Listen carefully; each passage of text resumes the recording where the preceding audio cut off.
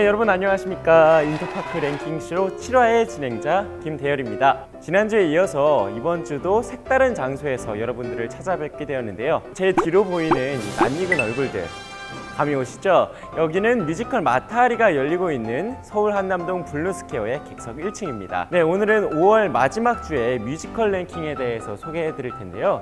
특별 게스트도 모셨으니까 끊지 마시고 끝까지 봐주시기 바랍니다 5월 마지막 주 뮤지컬 랭킹 소개해드립니다.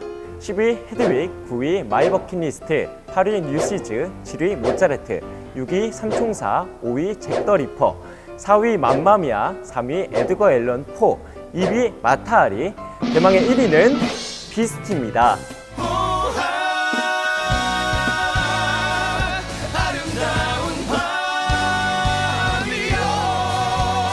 네, 뮤지컬 비스티는 2014년에 창작 초연됐던 비스티 보이즈가 이름을 새롭게 바꾸고 새로운 모습으로 찾아온 거라고 하는데요. 어, 7월 1일부터 단 열흘간만 공연이 된다고 하니까 많이 기대해 주셔도 좋을 것 같습니다. 어, 오늘 좀 더 살펴본 작품은 2위를 차지한 뮤지컬 마타하리인데요. 지난 3월 25일 시작한 이래로 단 한 번도 랭킹 상위권을 벗어난 적이 없을 만큼 큰 인기를 끌었는데 어느새 6월 12일 마지막 공연을 앞두고 있습니다. 프랑스 파리를 배경으로 활동했던 무희 마타리의 인생을 소재로 삼고 있는 뮤지컬인데요.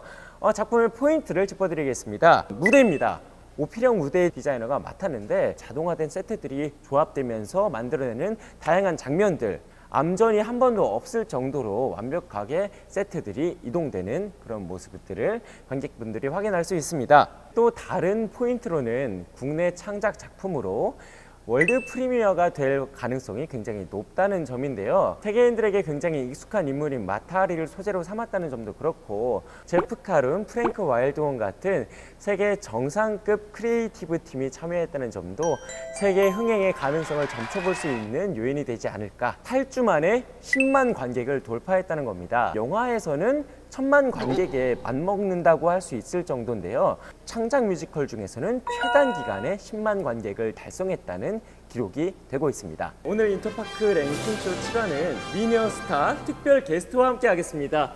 뮤지컬 배우 김소향 씨 모시겠습니다. 반갑습니다. 반갑습니다.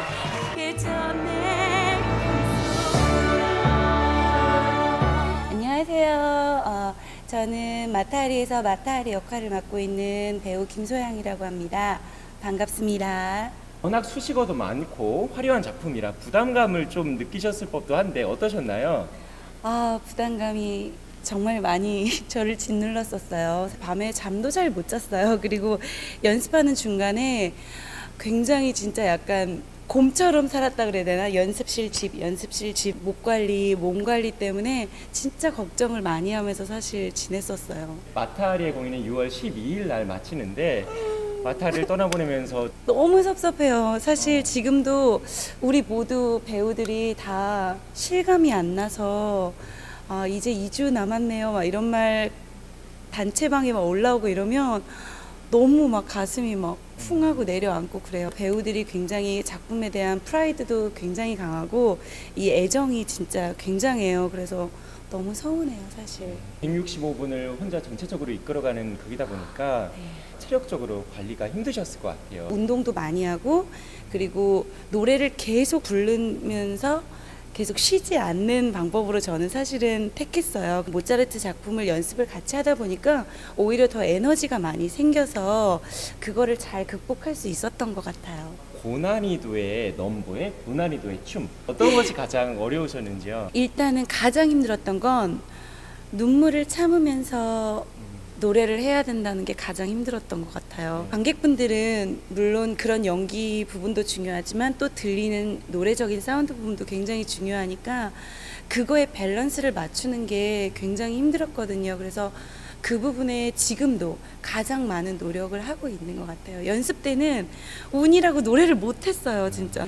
저희에게 혹시 사원의 춤의 비법 포인트 좀 가르쳐 주실 수 있나요? 비법 포인트는 어떤 뭐 막 이런 큰 동작 이런 게 아니라 눈빛이에요. 눈빛이요. 네. 호흡을 많이 사용했던 것 같아요. 약간 진짜 우리 음악 감독님께서 지휘자님께서 막 우리 배우들이랑 같이 호흡 맞출 때 이렇게 하는 것처럼 저도 베일 같은 거 이런 거 들 때도 이런 거 하는 거 있잖아요. 관객하고 같이 호흡할 수 있고 그리고 제 눈을 보면서 관객들도 같이 이렇게 빠져들 수 있게끔 하고 싶었던 그런 열... 체인지도 많은데 암전은 또 없는 그런 작품이에요. 맞아요. 백스테이지에서 힘들지 않으셨는지요? 스테이지에는 서성이지도 못하게 하실 정도로 이 백스테이지가 워낙 진짜 정신이 없어요. 너무 많죠 킥체인지도. 네. 뭐 거의 뭐 벗으면서 다녔어요. 그러니까 나오면서는 벗으면서 나오고 네. 들어가면서는 물 마시면서 들어가고 약간 아. 그렇게. 아유, 다른 배우분들과 많이 또 친해지는 시간들이 있었을 것 같습니다. 네. 좀 재밌는 에피소드가 있었다면 전해주시죠. 막내 우리 레오 정태군 씨 같은 경우에는 이제 한참 동생이라서 처음에는 막 어유 선배님, 어유 선배님 막 이랬었어요. 저희한테. 다. 근데 나중에는 막 소양아, 주연아 막 이러고 막 형님들한테도 형님들한테도 막 형님 막 이러고 너무 친해져서 나중에는 그 우리 배우들이 다 약간 보기에는 카리스마 굉장히 있는 배우들이지만 뒤에서는 너무 재밌고 네. 너무 농담도 많이 하고 이래서 진짜 너무 즐거웠었죠. 다음 작품 계획도 좀 계획되어 있다고 들었습니다. 어떤 네. 작품인가요? 2년 전에 제가 4년 만에 한국으로 어, 복귀작으로 영광스럽게 하게 됐던 모차르트를 다시 하게 되었어요. 그래서 지금 막바지 연습에 정말 열심히 하고 있거든요.